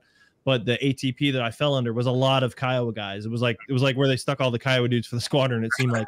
Um, but even a lot of the Apache guys were like totally open to learning new stuff, mm-hmm. you know, from that culture and i've had a lot say like it was a really good thing for the apache community to get some of those kiowa guys which i just never expected to, to hear right. that you know, mm-hmm. to hear those words um, but it was a difficult time and i remember talking to an air force guy they had the same issue with um, the osprey coming online and guys who flew mh53s you know the music stops and there's only so many chairs mm-hmm. um, and the military is too big to comb through and be like, okay, well, let's find the best Kiowa guys and the worst Apache guys. We're gonna swap them. It's like it doesn't work right. that way. Like if yeah. you're dead last Apache guy, you're the stupidest dude, the window licker. You're staying because you're already qualified to be Apache right. guy. Mm-hmm. It's gonna be it's going to be cutthroat of the Kiowa guys to see who mm-hmm. makes that transition. And yeah, and some guys ended up in Chinook. Some guys wanted Chinook. Some guys, I mean, I would have taken anything. You know, when yeah. it, when my number was up, I, I told Branch, I was like, I'll fly whatever you want me to fly.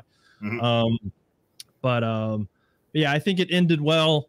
We'll see how the future holds with the new aircraft once they figure out yeah. what that's going to look like, and you know UAVs and all this madness. But um, well, cool. Well, I think we've been going for quite a while, uh, and I appreciate your patience with that. Um, okay. I didn't know how long this would go, and um, so I think we'll just start wrapping it up here.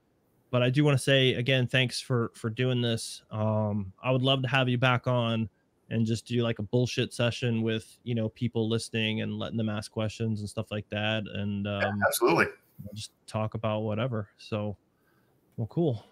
All right.